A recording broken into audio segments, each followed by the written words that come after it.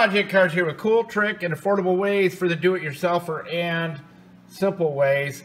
Today we are here to back up our newbie soldering video. Now many of you armchair professionals out there said that it wasn't a strong solder which means it would break apart real easy. Well, I want to show you just how strong it truly is. If you look at this video,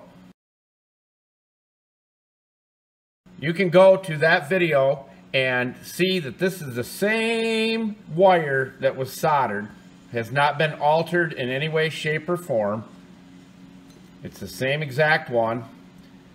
I'm going to show you just how strong this is. Even though we didn't use a flux on it, people said that the uh, actual soldering iron was too small to do this, and it was a butted up joint. Let's see how strong this truly is.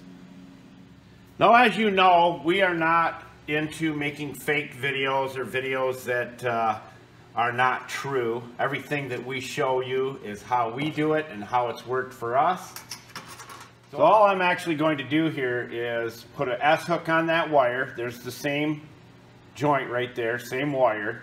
I'm going to hang it with a piece of wire from a hook up here. Hang that down like that. I've got it up so you can see the actual soldered joint.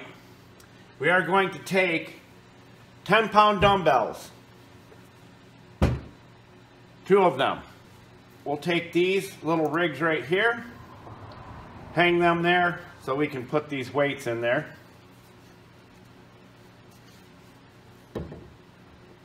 Okay, there's 10 pounds. And these are real dumbbells, solid.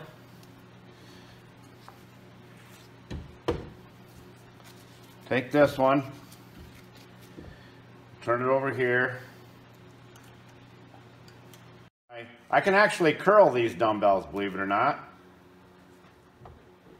Okay, there they are hanging, 10 pounders. Let's move it around a little bit. Okay, let's clang them so you know they're real. 20 pounds. And let's go up to the joint up here. No gimmicks. There it is right there. You've seen how we soldered it. So if you can picture taking a 20 pound bag of dog food and hanging it from this soldered joint, it wasn't twisted together, it wasn't anything. The wires were pressed together till they intertwined, soldered until the solder melted into the metal. Now, I don't know of any wire that you're going to have in your car that is going to pull 20 pounds of pressure on it. I would like to keep adding weights, but I only have these two dumbbells. What else can we add? Eight pound sludge hammer head. Let's see if we can stick that in there. Now, if my hook stays strong, I'll be good and my screw doesn't snap up there. There you go. 28 pounds hanging from that soldered joint that so many armchair professionals said wouldn't be strong. You're seeing it with your own two eyes. There's nothing holding those weights up. They're right there. And there's the joint. Now let's go right up to it close so that you can see it.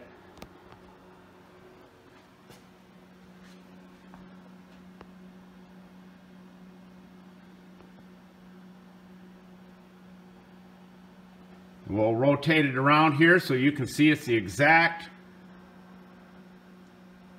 exact same joint that was soldered. Always be careful how you judge others. We only share what works here. Remember that.